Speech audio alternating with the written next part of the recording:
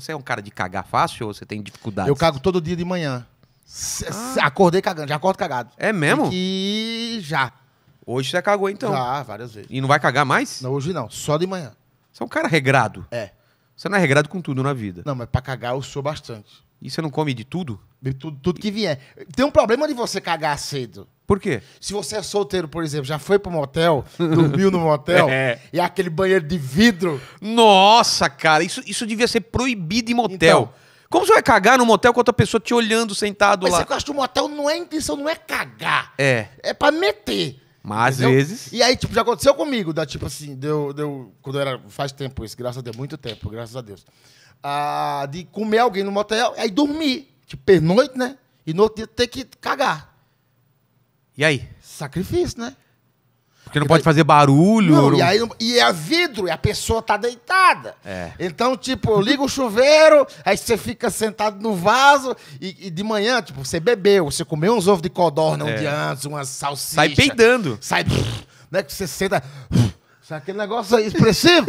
e aí você liga o chuveiro e a pessoa tá virada pra lá. Tu fala, tomara que ela não vire pra cá e me veja cagando. Então você caga e bate o pé ao mesmo tempo, tosse e assovia. Porra, é louco. Eu já fiz de ligar vídeo no YouTube e ficar alto assim, passando um vídeo pra. Mas não dá, né, cara? Dá pra saber, né? Não dá, não dá. Porque tá no meio do. Hello, it's you", né? E o cheirinho E o- da é. macela. Porque aquele não é fechado também, ele é, é- tem a, a parte de cima é aberta, né? cima, tá? Você vai muito em motel, cara? Eu parei, depois que eu casei, eu parei. Cara, Nunca mais a última vez que eu fui no hotel foi com minha mulher. Com mulher, você Com foi? minha mulher. Mas eu tava namorando. Ah, tá. Essa história é real. Tava namorando, eu e minha mulher. e aí, a gente mora em Curitiba, peguemos o carro e fomos pro motel. Pô, nós tínhamos tomado umas, tá? Falei, vamos dar uma chapuletada boa, vamos? Aí, pô, um motelzinho da hora. Aí cheguei no motel, juro que isso é verdade. Ah, lá, lá em Curitiba tem a rodovia dos motel, a rodovia da uva. Só tem motel de um lado de outro, de um lado de outro. Chegando, uh, ele vira lá assim, 300 metros do motel, 300 metros do motel, quebrou a mocinética da, da barra de direção do carro. Nem sabia que existia isso, não, mocinética. Faz o que essa porra? Não sei. O carro para. Ele fica. E parou. No- E aí ela, pô, o carro tá. Eu não sei dirigir, né? E aí minha mãe, na época, minha namorada dirigindo, ela, o carro bom morreu do lado do acostamento ali. A 300 metros do motel. É, o motel, tipo, era uma subida assim, né? e aí, tipo, do- e o carro quebrou aqui. E aí ele tentava ligar e não dava a partida, não dava nada. Tipo, quebrou um caralho. pô. Cara, isso, uma da manhã. Caralho. Com o pau duro. Não, sim, louco de cachaça, não sei o quê. Aí eu, eu falei, vou ligar pro seguro. Aí ligou pro seguro. Que, que o seguro da direita é um guincho, né? É. Liga pro seguro, dá um guincho. Beleza. Vilela. Aí o cara falou, é, tá, vocês estão aí, até 50 minutos o guincho chega, beleza.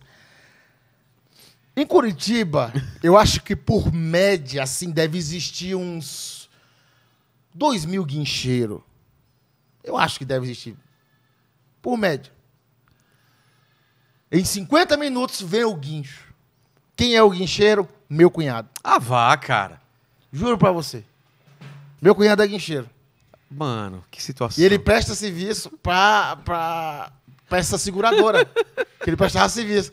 Lá vem nós lá encostadinho. Lá vem o guincho. Chega meu cunhado. Falou, o que, é que vocês estão fazendo aí? Ô, Tamo. Porra, cara, é uma BR, tem uns motel aqui, cara. Falei, ah, pois é, né? E aí, porra, meu cunhado começou a rir pra caralho. Ô, o que, é que você tá fazendo aí? Deu vontade de falar, vim comer tua irmã, essa vagabunda. Aí ele botou, o- botou, o, botou o carro em cima do guincho e nós fomos dentro do carro em cima do guincho. E eu falei, meu, era bom nós meter agora, né, cara? Ia ser do Cê, caralho, caralho, teu velho. irmão levando o guincho, É, história pra contar, cara. Porra, eu não quis dar, não. Não, e não rolou uma motel nessa noite também, Não, esquece. que não, levou o carro. Puta Acabou tudo. merda. A foda e tudo. Porra, mas é surreal. O cunhado ir buscar, bicho, vai tomar no cu. É. Nunca faça coisa errada. Sempre tem alguém vendo. É. Sempre. Não adianta.